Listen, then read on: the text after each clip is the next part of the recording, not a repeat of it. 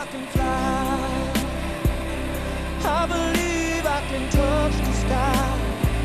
I think about it every night and day.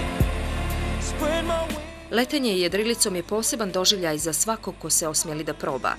U australijskom gradiću Tokumvalu, centru jedriličarstva koji se nalazi na granici Viktorije i New South Walesa je Southern Riverina Gliding Club, čiji je predsjednik Željko Lutovac iz Podgorice.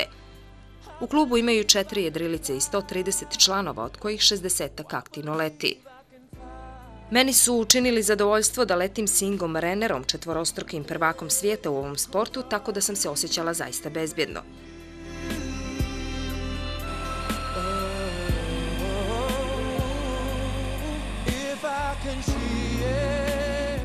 Podgoričanin Željko Lutovac, koji živi u Melbourneu, kaže da i Crna Gora ima odlične uslove za jedriličarstvo i da je nekada i bilo razvijeno.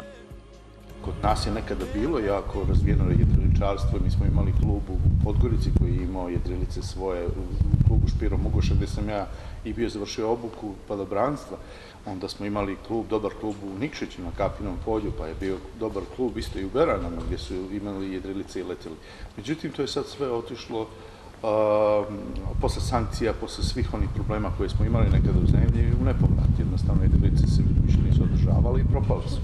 A trenutno sada a, ponovo pokušavaju da razviju to u Mostaru, u Livnu, a, jaki su klubovi u Vojvodini, u Beogradu, u Crnoj Gori, nažalost, ja ne verujem da iko sada trenutno leti jedrilice. Ovo jeste skup hobi, ali vam pruža jedinstven doživljaj dok jedrite iznad predivnih predijela Australije. Rekord a, koji je trenutno važeći 27.000 fita, znači to je otprilike negde oko, oko 15-16 km visine.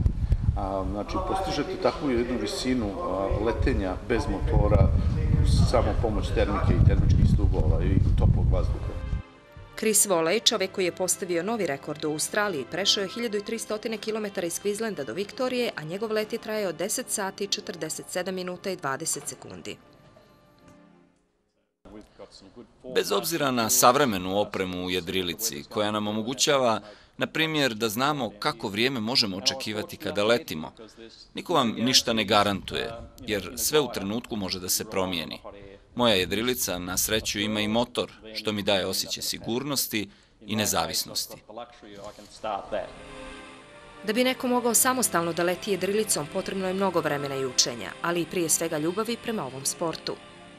Nekakav prosjek nam govori da 20 sati leta sa instruktorom obično je dovoljno da, da pilot počne samostalno da leti jedrilicu u dvosedu i posle toga je a, određena obuka da bi se prebacilo i letelo jednosed jedrilica. E sad, ovaj, zavisno od pilota, neki a, posle 100 sati leta počinju da se bave i profesionalno takmičenjem. A, veoma individualna stvar kako ko ovaj, i pravi progres u letenju. Jedriličarstvo je u toplim danima kada temperatura prelazi 40 stepeni Celzijusa i bijeg od vrućina, jer što ste visočije, sve je prijatnije. A pogled na rijeku Mari, najdužu i najvažniju u Australiji, je zaista čarovan. I believe